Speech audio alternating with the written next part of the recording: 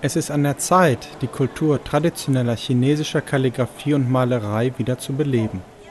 Das sagen Mitglieder der chinesischen Gemeinde in Jakarta, Indonesien. Während der dunklen Jahre unter dem Regime von Diktator Suharto wurde diese Kultur unterdrückt und findet erst heute wieder mehr und mehr Anklang unter den Indonesiern. Die Gesellschaft für chinesische Kalligraphie und Malerei eröffnet diesen Monat eine Ausstellung in einem der größten Einkaufszentren von Jakarta. Die Ausstellung umfasst 330 Meisterwerke. Davon sind 137 Kalligraphien, 93 Wassermalereien und 100 Ölgemälde. Alle diese künstlerischen Werke wurden von vier Lehrern in der Gesellschaft zusammen mit ihren 22 Studenten erschaffen. Während der Ausstellung können die Besucher von den Künstlern lernen, wie man Kalligraphien schreibt. Die Ausstellung soll helfen, das Selbstvertrauen der Indonesier mit chinesischer Herkunft zu beleben.